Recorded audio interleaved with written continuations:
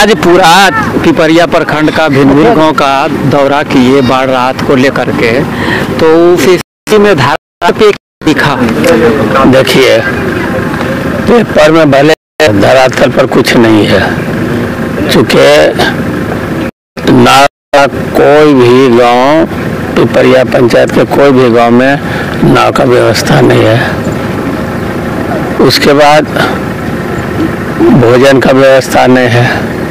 जानवर के लिए कोई व्यवस्था नहीं। चारा है का भी व्यवस्था नहीं। और उसके बाद सबसे बड़ी बात है कि मेडिकल टीम को होना चाहिए। कब किसको क्या होगा इसके लिए तो कोई माँ बाप नहीं है। जानवर का भी डॉक्टर होना चाहिए उसके लिए चारा का भी व्यवस्था नहीं है। और सबका घर इस तरह से घर के अंदर पानी चल गया है कि वो भोजन भी नहीं बना सकता है। इसलिए भगवान भरोसे है। और जो हम देखे, उसमें पेपर के अनुसार ये लोग ठीक ठाक है, लेकिन धरातल पर ये लोग बिल्कुल फेल हैं और व्यवस्था है। इसलिए हम डीएम साहब से भी बात किए एस डी साहब से किए हैं कि आप धरातल पर जाइए। धरातल पर जो सही है, वो कीजिए। हर टोला में जो प्रभावित है, हर टोला में नाव का तुरंत व्यवस्था कीजिए। ताकि किसी को कुछ भी हो तो तुरंत उसको राहत मिल सके। अब देखिए प्राइवेट नाव से आता है तो अढ़ाई सौ रुपया लगता है उसको अप डाउन में। अब गरीब आदमी को अभी भोजन नहीं मिल रहा, अढ़ाई सौ रुपया कहाँ से देगा? तो ये सब माननीय प्रशासन का लापरवाही है, जिसके कारण कि हम प्रशासन, जिला प्रशासन से हम संतुष्ट नहीं है। चूँकि जो व्यवस्था होना चाहिए मुकलम उस तरह का व्यवस्था ही नहीं है। तो क्या प्रशासन पानी का घटने का तो नहीं इंतज़ार कर रहा है? कारण कि देखिए, दिन हो गया है। अरे जो भी हो चूँकि डीएम साहब नए हैं उनको पता नहीं है। जो पुराने लोग हैं उनको चाहिए कि डीएम साहब को बताना कि अगर बाढ़ आ जाता है तो हमको क्या करना है?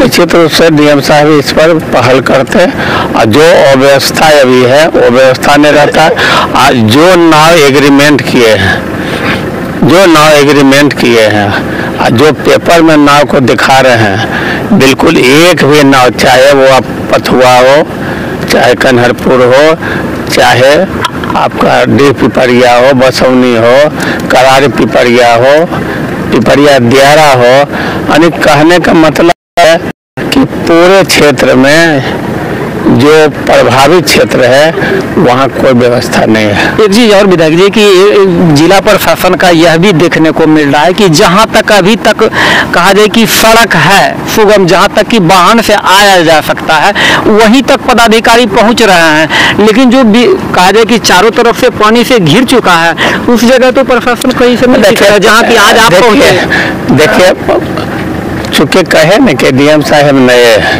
अगर उनको कोई बताएगा तब न कि प्रभावित कहाँ कहाँ है। वहाँ उनको ले जाता तो निश्चित रूप से जाते ही एक्टिव हैं। जिला पदाधिकारी ऐसी बात नहीं है, लेकिन इनको सही दिशा और सही मार्ग नहीं बताने के चलते ये जो है गेपिंग हुआ है। दिन से पानी है और सरकार के द्वारा कोई राहत सामग्री यहाँ पहुँचा है या अभी तक ये लोग बाट जो रहे हैं उम्मीद में है कि कोई पहुँचेगा। कि चाची क्या दिन से पानी है जा चार रोज से। चार रोजा से चार रोज में कोई ढंग के राहत सरकार के ओर से? कुछ नहीं। कुछो नहीं। मुढ़ी तक भी दलमोट तक नहीं। कुछ भी नहीं एगो बिस्कुट का पैकेट भी। मुखिया जी एलखिन ने हाँ, तो देखू मुखिया के अपन ई जीवन मुखिया जी। अच्छा जीवन मुखिया जी। और कोई कहाँ एलखिन कोई नहीं। तो झालो मुढ़ी दलमोट कुछ नहीं हाँ हाँ एक पावो भर नहीं। पावो भर नहीं। कल के होगा व्यवस्था हम नाव- भेजेंगे नाव गाड़ी कुछ नहीं। नाव गाड़ी भी कुछ नहीं नहीं नहीं। कोई व्यवस्था कोई व्यवस्था नहीं। नहीं। खाना उना कैसे बनाते हैं? अब की करिए अब कैसे बेटा खेबे न करबै पका के तनिगो अथियो पर चौकियो पर। भूखल तो नहीं न रहबै। ई हाल है। हाँ ई हाल है। है अब कुल जाल माल केना करके है से कोई पता है बाल गायो माल के खावे के लिए तो कुछ नहीं गायो माल के खाए माल के इतना भूसो ने कोग नहीं न खेती न। पति कुछ नहीं हमें तो देखें कि किस प्रकार कह रही हैं महिलाएँ और यहाँ पे एक और है। क्या कोई व्यवस्था यहाँ नहीं सरकार के द्वारा? नहीं सर नहीं कोई कुछ नहीं। कुछ नहीं। कोई नेता लीडर भी घूम नहीं कुछ कोई अभी विधायक जी आए प्रहलाद यादव तो इनसे मिले। हाँ। की कहल खून? हमने नहीं सुन लिया नहीं सुन लखे तो देखें कि किस प्रकार का उम्मीद कि सरकार कर रहे हैं बड़े बड़े दावे। लेकिन धरातल पर क्या है? ना नाव ना कम्युनिटी किचन यहाँ तक कि कहें कि मूढ़ी और दालमोट और सूखा चूड़ा का भी व्यवस्था इन बाढ़ में जलमग्न हुए गाँव का लोग बाट जो रहे हैं। अभी तक सिर्फ़ कागज़ी खाना पूर्ति, लेकिन धरातल पर कुछ नहीं है। ये है सच्चाई जो गाँव बाढ़ में डूबे हुए हैं। और यह जो दशा हम आपको दिखा रहे हैं, यह है फुर्जगढ़ा विधानसभा के पिपरिया प्रखंड के पिपरिया ही के एक कौन सा गाँव है ये? पिपरिया। बसवना टोला। बसौना टोला पिपरिया।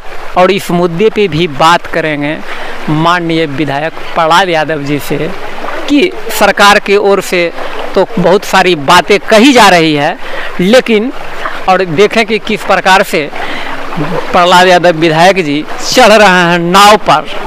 और यहाँ से फिर कुछ करेंगे। दूसरे गाँव के लिए ये हाल है और गाँव गाँव जा कर के आज कर रहे हैं और सच्चाई से हो रहे हैं रूबरू कि सरकार की क्या है व्यवस्था, उस व्यवस्था को लेकर के। तो इसी के साथ लेते हैं आपसे विदा और आगे दूसरे गाँव का भी दिखाएँगे हाल और वहाँ की धरातल की सरकार के द्वारा राहत सामग्री क्या है व्यवस्था, उसकी सच्चाई को बने रहे फजन समाचार के साथ। नमस्कार।